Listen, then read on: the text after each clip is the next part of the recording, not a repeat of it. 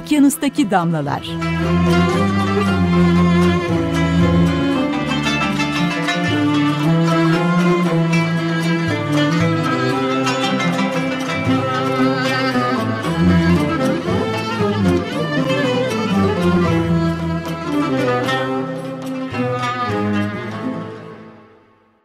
Merhaba musiki sever dostlarımız. Ben Dilek Yüzler.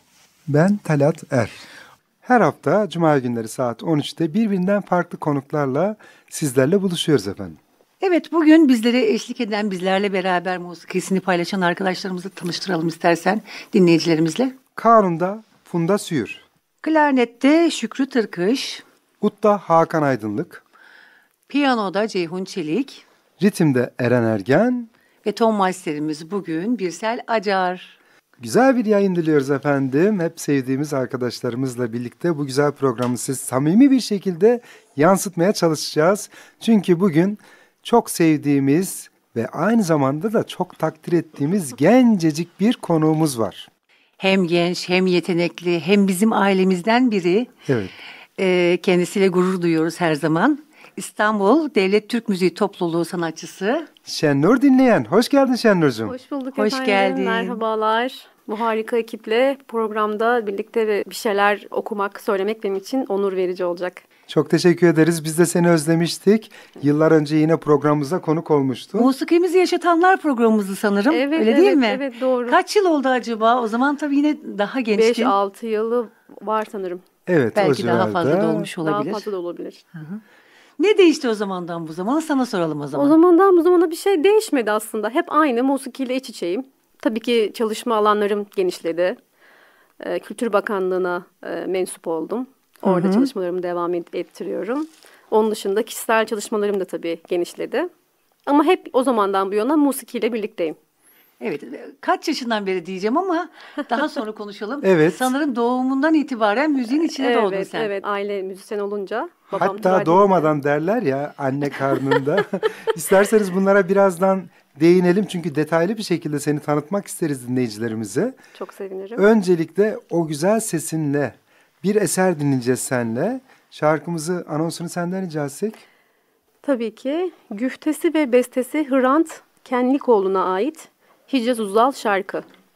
Gel nazlı güzel, gel bana can ver gülüşünle diyeceğiz. Öncesinde de biz Refik Fersan'a ait Hicaz Peşrevi icra edeceğiz. Müzik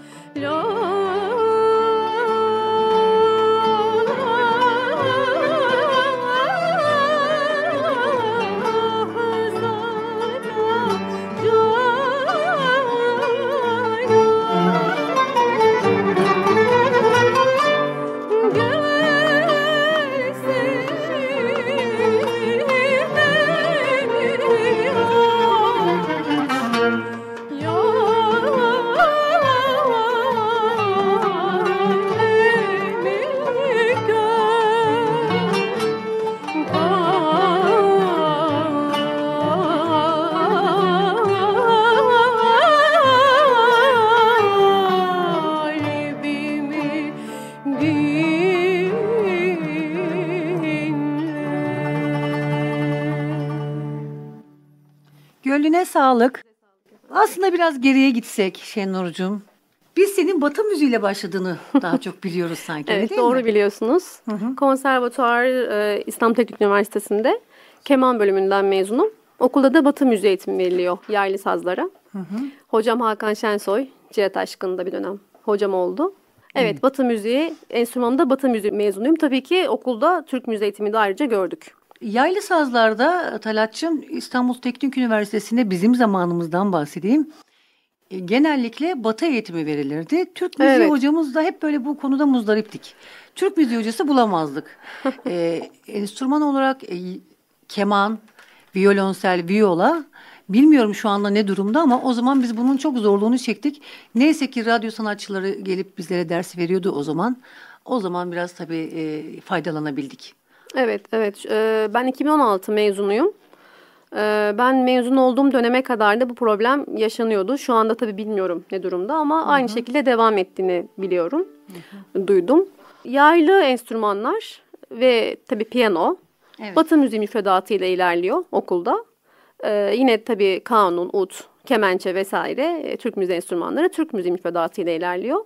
Ve birlikte ortak bir yol bulmaya çalışılıyor.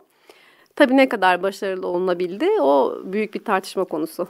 Evet keman demişken tabii ki Türk müziğinde de akla gelen bir aile var. 1987 yılında TRT Ankara Radyo sınavına girdiğim zaman yetişmiş sanatçı olarak koridorda kimle beraberdik? Turay Dinleyen.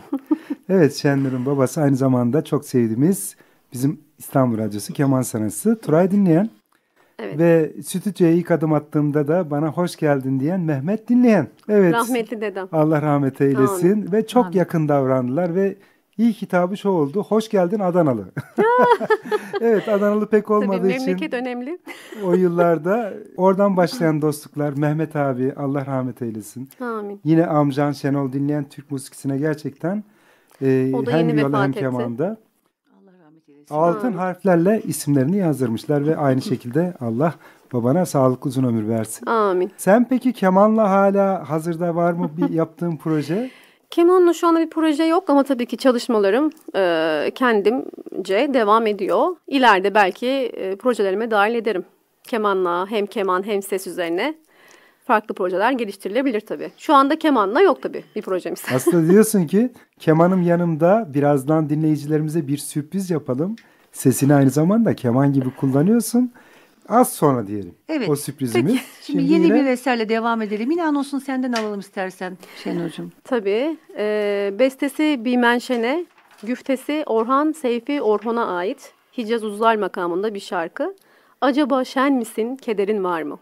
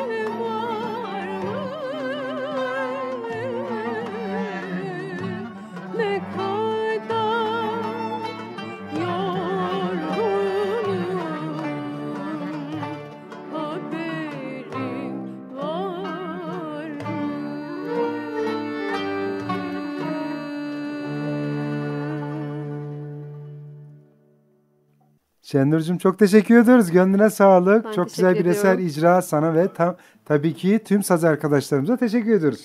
Gönlüne sağlık. Teşekkür Ee, ederim. müzikten bahsettik ya kemanda Türk müziği eğitimi. Evet. Aslında sen bunu ailede almış oldun bir bakıma. evet, Öyle evet, değil tabii, mi? tabii. Okula gerek yok senin için.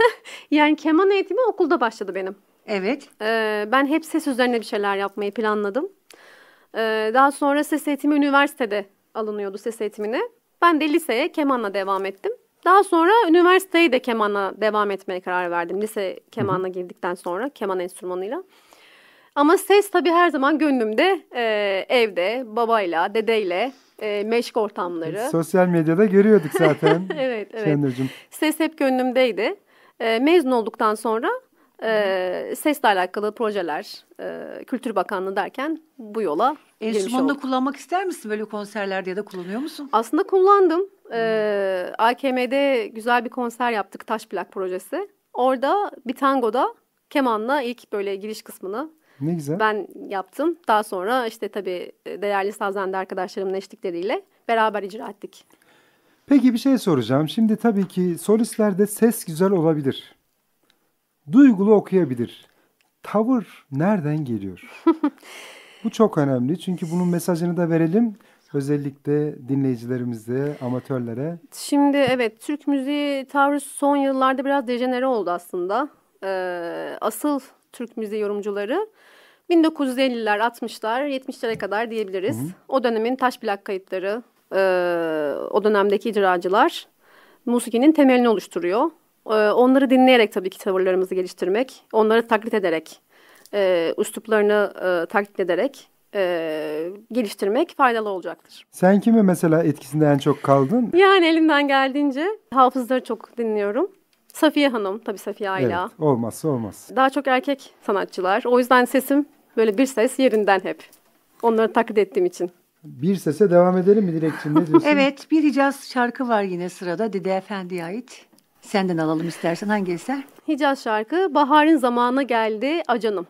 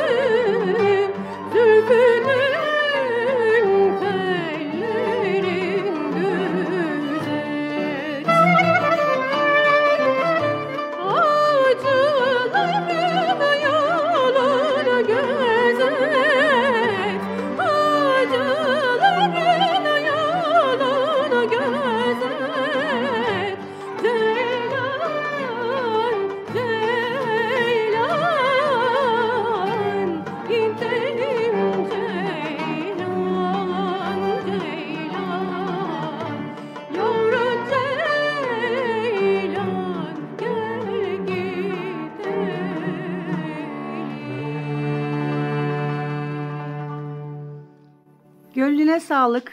Teşekkür ediyorum. Fasıllarda okunurdu bu eser değil mi Talatçım? Çok severim. Fasılın sonunda unutmuşuz. Evet, özlediğimiz güzel. eserler ve tabii ki Dede Efendi'nin tüm eserleri birbirinden Tabii, tabii, güzel. tabii. Ve hareketli eserler de mesela o döneme göre bu eserler hareketli Tabii. eserler ve özellikle köçekçeler de dahil. Şuna dikkat ediyor musun? Repertuar oluştururken bu bestekar olsun ya da şu makam olsun gibi. Sevdiğim bestekarlar var dahil etmek istediğim özellikle repertuarlarıma. Ama e, buna çok dikkat etmem açıkçası. Şarkıların temposuna, giderine, e, tabii makamına buna göre. Bestekarlara özel yaptığım repertuarlar o bestekarı anmak üzerine olan e, çalışmalarda daha çok. Evet ben mesela hüzzamcıyım. Aa, Her harika. fırsatta mesela bir imkan olduğu zaman hüzzam. E, Dilekçim senin tercihin? Benim değişiyor ruh halime göre. Gödeli Cazkar'ı severim, Hicazkar'ı severim, Hüzzam'ı severim. Bu makamlar beni çok etkileyen, özellikle taksimlerinde çok etkilenirim. Evet tabii ki hiçbirimiz demiyoruz mesela. Evjara beni çok etkiliyor. Aslında Ferahlar. Çok güzel caz makamlar aslında tabii ki. tabii. Hicaz Hicaz. sesleri ama Evet. çok farklı tabii işlenmiş. Daha zengin bir makam aslında. Hani baktığımızda. Ben sana başka bir şey sormak istiyorum. Tabii. Ee, hanımlardan genelde e, gazel okuyan pek olmuyor. Var ama çok e, sınırlı sayıda. Sen bunu nasıl düşünerek ya da sesinden dolayı mı, sesinin e, genişliğinden dolayı mı düşündün? Evde yine babamla karşılık çalışmalarımız, babamın doğaçlamaları, üzerine benim karşılık vermem. Aslında bu şekilde gelişti. Ee, ilk önce sözsüz sadece enstrümantal ben de yine böyle akapella şekilde enstrümantal e, babama böyle eşlik ederek çalışmalarımız sürdü. Tabii daha sonra bunu gazel forma dönüştürmek benim için daha kolay oldu. Ee, yine tabii eski kayıtları, hafızları çok dinledim. Onların e, tavırlarını gazellerime uydurmaya çalıştım. Bu şekilde. Yani tabii yine günümüzde de gazel okuyan birçok hanım var. Şimdi onlara da haksızlık etmiş olmayalım. Tabii ki var ama genç nesilden e, bilemiyorum. Belki ben hatırlamıyorum şu an ama genç nesilden tabii Az ki sayıda. bunda Aslında şöyle Evet. düşündüğümüz zaman yani isim arkadaşlarımıza haksızlık olmasın Evet. ama yani beş kişiyi geçmez benim bildiklerim öyle söyleyeyim. Tabii, Çünkü tabii. sadece biraz önce bahsetmiş olduğum gibi ses güzelliği ya da duygu yeterli işte tavır burada devreye giriyor. Yani eğer bu tavrı verebiliyorsanız gazel de okuyabiliyorsunuz. O zaman aslında sözlü bir taksim e, e, Aslında gibidir. öyle. Aynı irticalen yapılan bir şey olduğu için o da taksim gibi sayılır. Bizim yaptığımız taksimlerin sözlü şekli.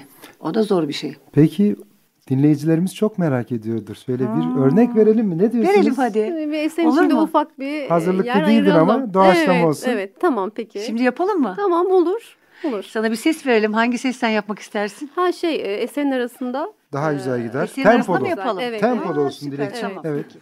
Sazlar çalınların meyanında da güzel gider. tamam. O zaman güzel diyoruz güzel de ki bir şarkıya denk gelmiş. Yesar Asım Arsoy'a ait çok güzel bir eser.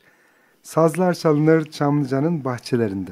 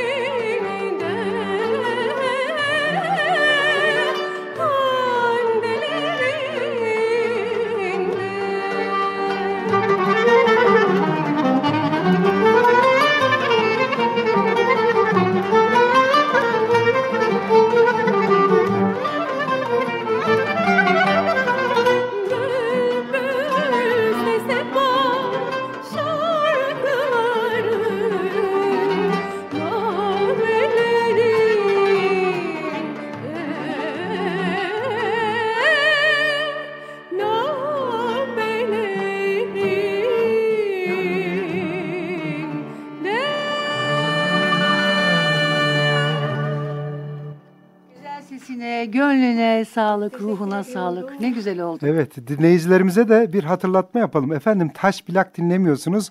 Bugünkü programımızda böyle canlı canlı Şennur dinleyeni dinliyorsunuz. Değerli saz arkadaşlarımızla birlikte Okyanus'taki Damlalar programımızdasınız. Ben başka bir şey okuyacak zannettim aslında. O yüzden sordum ha başta mı yapacak diye. Kafam karıştı. Aslında sözel yapmış olduğum, vokal yapmış olduğum yine nameler var ya. E, sirtoları, longaları aslında. Onu da yaptıralım istersen hazır bulmuşken. Hicaz'ın arkasında ya. Acaba öyle bir şey bize yapar mısın? Önce ne olduğunu anlatalım istersen. Bahsettiğimiz Bu şeyin. akapella, evet e, enstrümantal müzikleri ses sadece çıplak ses ile icra etme. Zaten yurt dışında da çok e, Evet, yurt dışında da var uygulanan ama- bir e, format. Ben de böyle ufak denemeler yapıp sosyal medyada paylaşmıştım. Çok ilgi gördü. Biz Şimdi bu da yine spontan oldu. Evet programımızda da istiyoruz. Hicaz Peki. mesela bu ses, Hicazkar. bu ton içinden ne geliyorsa Ne ister? bize gerek yok o zaman. Estağfurullah. İstersen tonunu verelim. tamam olur. Sesinle bize ne seslendirmek istersin? Öyle soralım.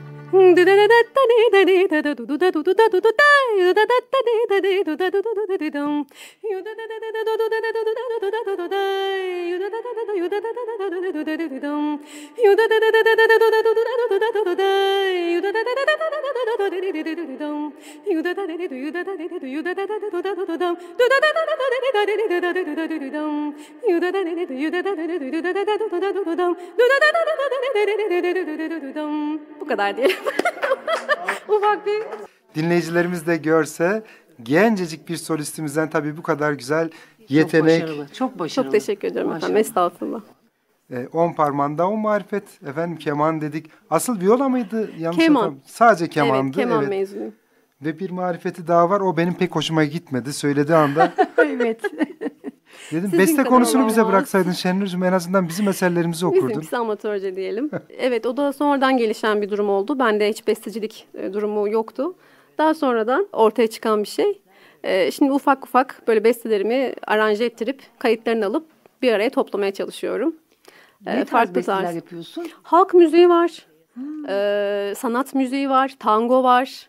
Çok güzel. Ee, böyle yine alternatif müzik diyebileceğimiz tarzda müzikler var. Bu şekilde içimden ne geliyorsa doğaçlama. Güfteler de bana ait. Çok enteresan. Normalde hiç böyle kendimi kelimelerle iyi ifade edebilen birisi değilimdir. Ama şarkı yazmaya gelince birden böyle güftelerde Belki edemediğin içindir. Ben de öyleydim aslında. Olabilir. Beste yapana kadar hiç konuşkan bir insan değildim. olabilir. Sonra demek ki bestelere dökmek de Besteler. varmış. Faydası İleride oldu. onları bir albüm gibi düşünebiliyor Evet. musun yoksa? İlk önce Daha single şeklinde çıkarıp daha sonra hepsini toparlayıp bir albüm yapmayı inşallah istiyoruz. Aslında hepimizin yapması gereken bir şey. Herkes yaptı bir ben kaldım galiba. Dilekçim yapalım, düet yapalım seninle. yani kendi bestelerinden e, insanın bir hatıra kalması Kesinlikle. gerekiyor. Bence Bazen geliyor aklıma ama Peki doğaçlama gidiyoruz. Ailede mesela böyle bildiğim kadar Mehmet kardeşinde violonsel Evet, sanatçısı. Mesela böyle bir ortak çalışmanız var mı profesyonel anlamda?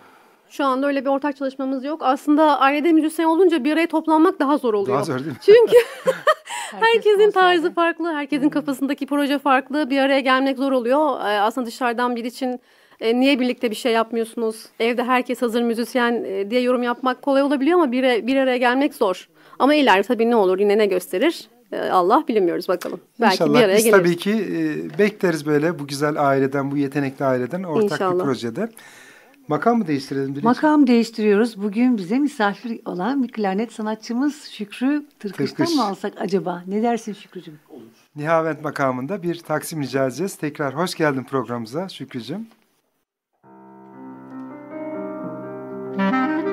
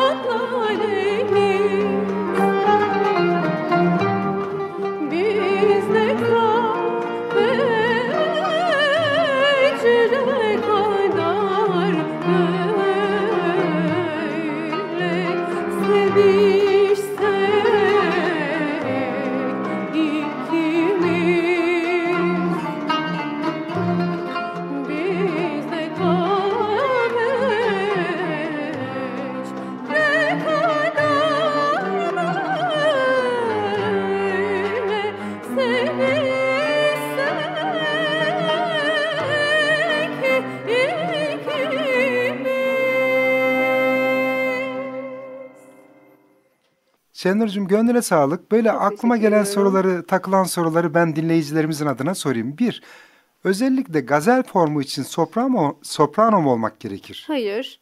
E, aksine sanat müziğinde alto kadın sesler daha çok aslında makbuldür bana göre. E, soprano e, sese sahip olanlar daha çok gazel okuyor. Bu da yine eski kayıtlardan kaynaklı. Eski kayıtların e, hem plakların devirlerinden dolayı e, daha tez duyulması hem de tavır olarak e, o şekilde icra ediliyor olmasından dolayı gazel okuyanlar tez okur algısı var. Günümüzde sanki daha sopranolar daha çok mu ön planda gazelde? Evet, çeşitli sebepleri var tabii bunun ama soprano sesler daha ön planda gazel formunda. Gazel için peki hangi şiir formunu öneriyorsun? Şimdi gazel aslında e, e, madem değindik söyleyeyim. E, gazel formu divan edebiyatının önemli bir formu aslında. E, bizim okuduğumuz tam da gazel sayılmayabilir. Daha çok kaside diyebiliriz. Hmm. Çünkü e, gazelin belli kuralları var. E, onları tam çalışmak gerekiyor okumak için. E, hem hece sayıları hem vezin vesaire. Ee, bizim okuduğumuz daha serbest böyle doğaçlama, güfte direkt gördüğümüz gibi melodi e, giydirme güfte diyoruz. Güfte aruza bağlı oluyor mu olmuyor mu? E, gazelde aruza bağlı olmak zorunda ama kaside de Hı, pek kaside e, evet e, kaside biraz daha serbest Hı. diyebiliriz. Bizim okuduğumuz aslında kaside. Gazel e, evet. gazel deniyor genel olarak. Gazel formu divan edebiyatının önemli bir formu. Daha kurallı bir form. Evet. İstersen devam edelim. Nihavent bir eser. Nihavent makamına devam ediyoruz. Hı. Sırada çok güzel bir Selahattin Pınar bestesi Vecdi Bingöl güftesi eserin ismi. Geçti ömrüm yine hala ben o bin der dileyim. Geçti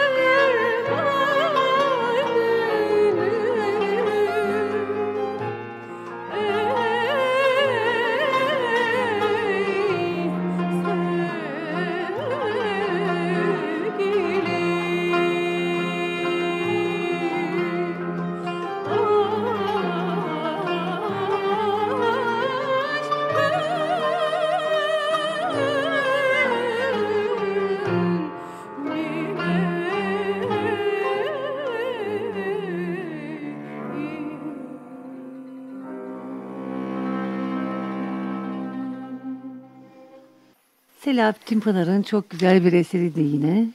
Gönlüne çok sağlık. severim. Teşekkür ederim. Ellerinize sağlık. Ne kadar farklı eserleri var öyle değil mi? Hepsinde ayrı bir Hepsinin duygu. duygusu bambaşka. Selahattin Pınar gerçekten çok derin. Makam farklı olsa da yine Selahattin Pınar eseridir diyebildiğimiz eserler. Evet, bir besteci değil mi? için en büyük avantaj sanırım. Üstünde ismi yazmasa bile Evet. bir Selahattin Pınar, Saadettin Kaynak. Yani bu Kesinlikle. ikilinin özellikle eserlerinden zaten dinliyoruz, anlıyoruz ve hani profesyonel olmayanlar bile anlayabiliyor. Kesinlikle. Hangi şarkı sırada Şenurcuğum? Ee, yine harika bir bestekar Artaki Candan'a bestesi.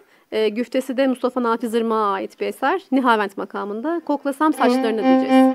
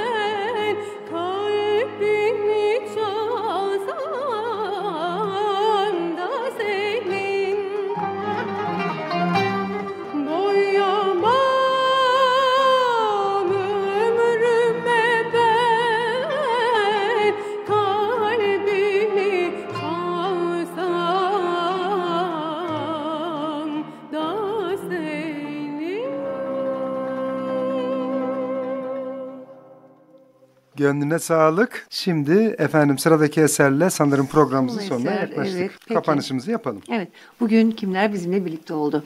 İlk başta ilk defa gelen e, konuk sanatçımızdan, saz sanatçımıza takdim edeyim. O zaman Şükrü Tırkış klarnette bizimle beraberdi.